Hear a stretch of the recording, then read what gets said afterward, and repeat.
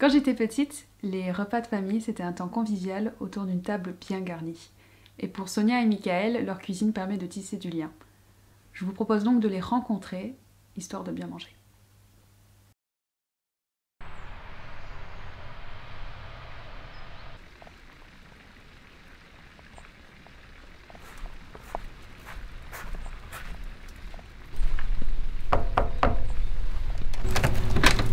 Bonjour, bienvenue au château. Bonjour, entrez, bienvenue. Puis ça va faire une dizaine d'années que je cuisine. Euh, voilà, et ici, sur ce poste-là, bientôt trois ans. J'avais arrêté euh, différentes activités que je faisais avant. Et c'est. on- Passion est peut-être un mot un peu fort, mais j'y ai goûté par hasard et euh, voilà ce qui m'a poussé à continuer. euh, ce qui m'a poussé à continuer. Voilà, tout simplement. Je cuisine depuis, je dirais vraiment depuis 33 ans. C'est le temps que nous sommes mariés. Pour faire une bonne cuisine, je pense qu'il faut des oignons, de l'ail, un bon couteau et beaucoup d'amour. Euh, Les ustensiles, on peut, ça, ça c'est pas le plus important.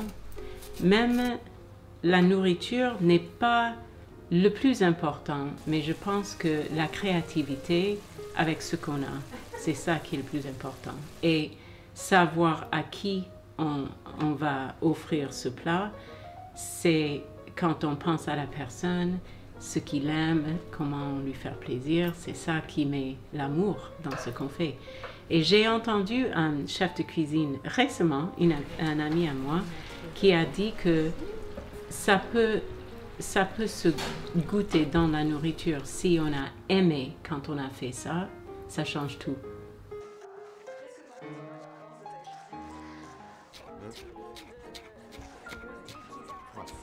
Pour un plat professionnel, on va maintenir l'exigence, sur euh, plusieurs points.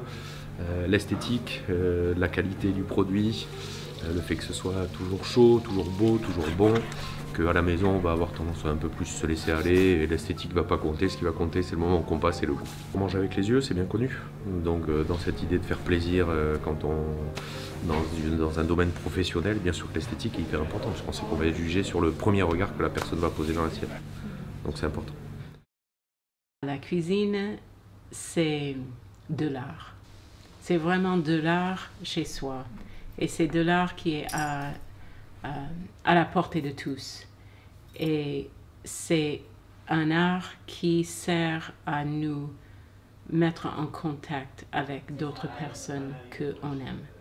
Donc pour moi, c'est c'est peut-être l'art le plus euh, le plus pratique et le plus euh, honorable, mais euh, mais c'est quelque chose qui est à la portée de tous et c'est vraiment pour lier les gens ensemble, je pense. Euh, C'est pas une légende, je pense que la France est un des, des premiers pays gastronomes au monde. Euh, et c'est une, vraie force, une vraie richesse qu'on a d'avoir sur un territoire aussi petit qu'à la France une multitude de produits variés. euh, et c'est top ça. Euh, le, le goût fait partie entièrement du voyage.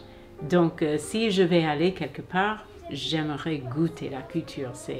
Ça parle beaucoup de, de- le, goût, le repas, la nourriture parle beaucoup de des gens et de leur culture, ce qu'ils valorisent. Justement, dans d'autres pays où je suis allé, je pense que le moment du repas, euh, surtout dans, je trouve dans les pays méditerranéens et africains, le moment du repas, je trouve, est peut-être plus important que chez nous et plus associé au partage à ce moment-là.